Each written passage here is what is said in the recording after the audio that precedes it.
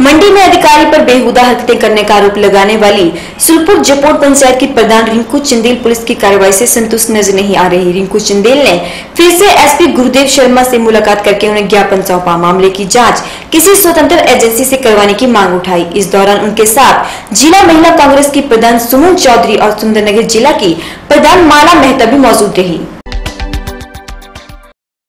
अधिकारी पर बेहुदा हरकतें करने का आरोप लगाने वाली सुलपुर जवोट पंचायत के प्रधान रिंकू चंदेल पुलिस की कार्रवाई से संतुष्ट नज़र नहीं आ रही है। रिंकू चंदेल ने फिर से एसपी गुरुदेव शर्मा से मुलाकात करके उन्हें ज्ञापन सौंपा। मामले की जाँच किसी स्वतंत्र एजेंसी से करवाने की मांग उठाई। इस दौरान उनके साथ जिला महिला कांग्रेस के प्रधान सुमन चौधरी और सुंदरनगर जिला की प्रधान माला मेहता भी मौजूद रही।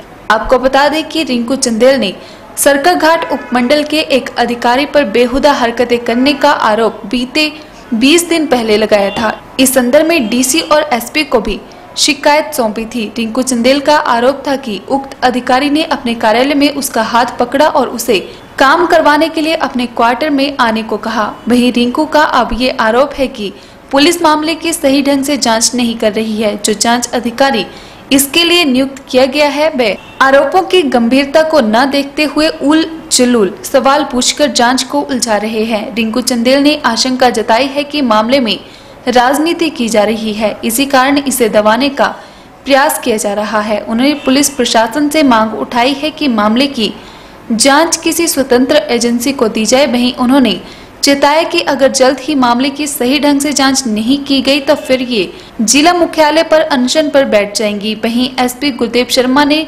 शिकायतकर्ता रिंकू चंदेल को भरोसा दिलाया कि मामले की सही ढंग से जाँच की जा रही है और इसकी प्रक्रिया जारी है।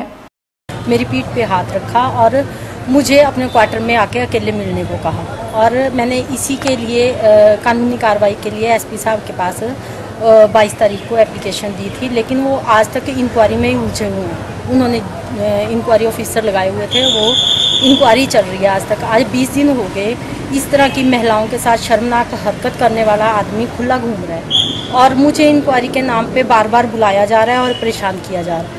और मेरे से इस तरह के क्वेश्चन पूछे जा रहे हैं इंक्वायरी में कि आप कहाँ बैठे हुए थे, कौन से रंग के कपड़े डाले हुए थे जब एक महिला इतनी बड़ी बात बोल रही है कि मेरे साथ इस तरह की हरकत हुई मुझे हाथ लगाया मुझे छुआ मेरे ऊपर हाथ रखा तो उस चीज़ को सुनने की बजाय वो लोग आसपास जो और लोग हैं महिलाएँ हैं उनसे जाके पूछ रहे हैं कि क्या उनके साथ इस तरह की हरकत हुई?